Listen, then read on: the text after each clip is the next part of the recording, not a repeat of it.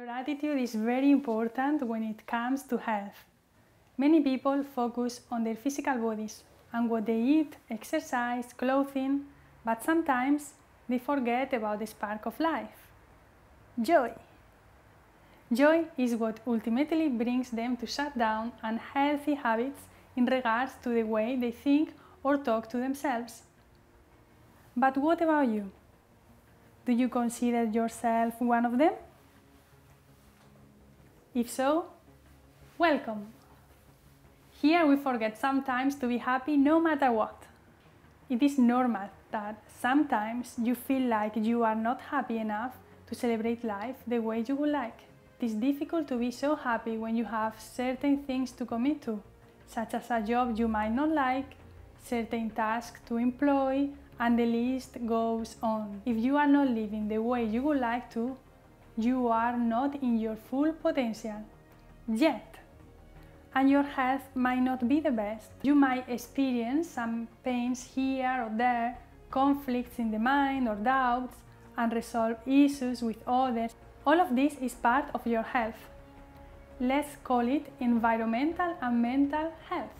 If your mind isn't flowing well, with positive thoughts and clear ideas of what you want, it's obvious that your brain sends negative signals to the rest of your body and your body responds with pain as an alert for you to put attention to something that you might not be aware of.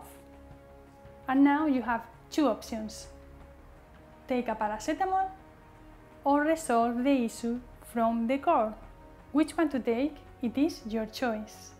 If you prefer to solve the issue, here we go with these three steps to help you uncover the pattern to resolve.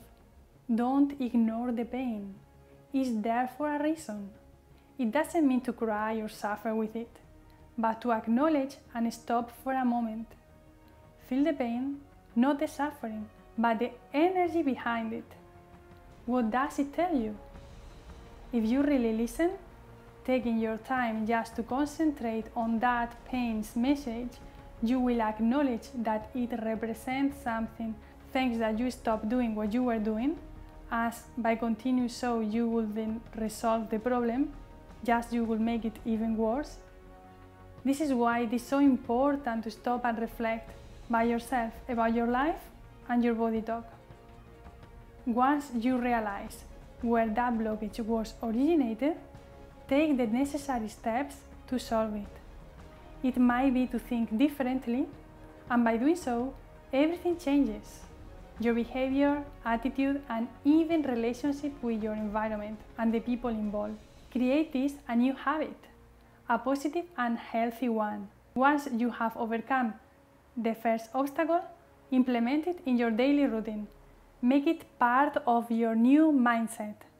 Your body will respond naturally and your life will change to a new way of living better than before, healthier and wiser.